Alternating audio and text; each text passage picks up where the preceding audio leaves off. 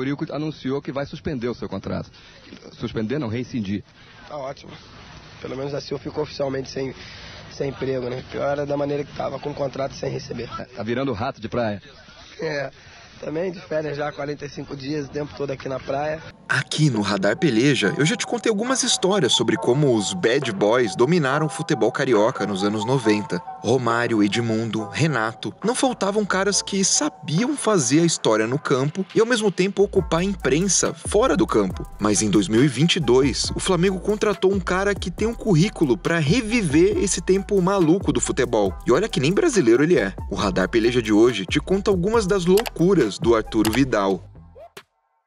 Mas antes de eu te explicar o porquê disso, eu tenho um recado para você direto da Umbro, a parceira aqui do Peleja. Se você clicar no link que tá na descrição desse vídeo, você vai pro site da Umbro, onde estão rolando lançamentos e ofertas de duas linhas, a de teamwear e a de lifestyle. Ou seja, lá tem peça para você que tá procurando roupa para praticar algum esporte ou atividade física, além de uma coleção novinha com camisetas, moletons e mais um monte de coisa para usar em qualquer lugar. Então clica no link da descrição e corre pro site da Umbro. Agora vamos voltar para a história.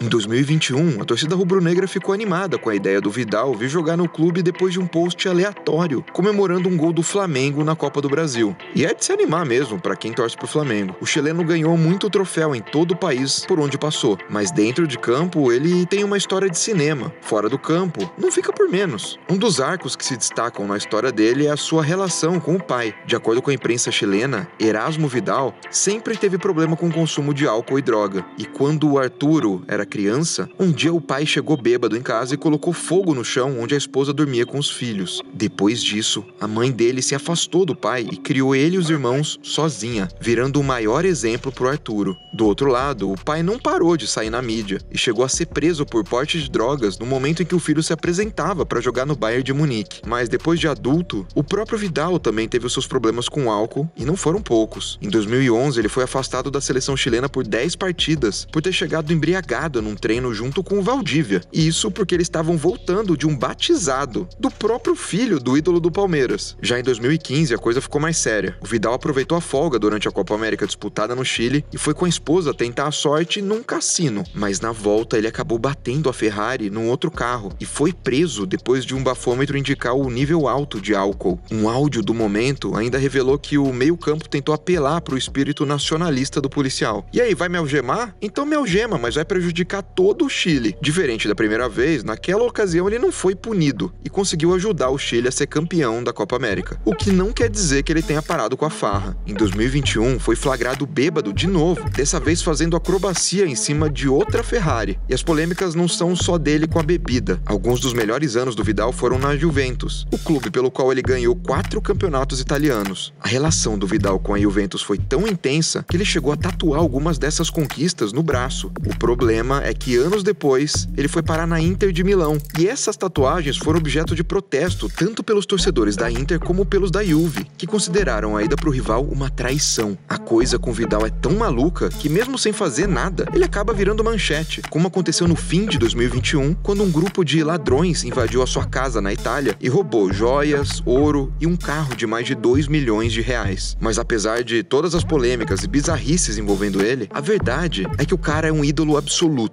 foi campeão de oito campeonatos consecutivos, jogando em três países diferentes e ganhou título em todos os quatro países onde ele jogou, além, é claro, da seleção chilena. Como falou um ex-companheiro do Bayern, Vidal não poupa nada, nem no campo, nem na vida, ele se entrega por inteiro. E na mesma linha foi o seu ex-técnico Pep Guardiola. Se tiver aqui pra guerra, eu quero o Vidal do meu lado. Agora você, aí do futuro, que eu sempre aciono, torcedor do Flamengo ou de outro clube, me responde essa. O Vidal foi bem sucedido no Flamengo ou virou só mais um personagem folclórico do futebol carioca.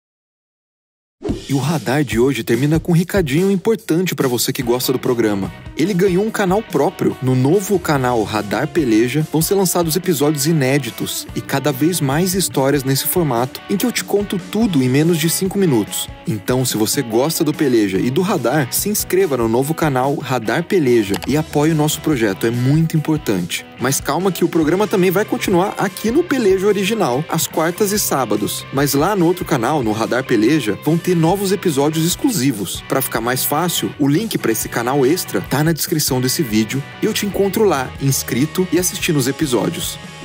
comente, se inscreva no canal, deixe o seu like e até o próximo Radar Peleja.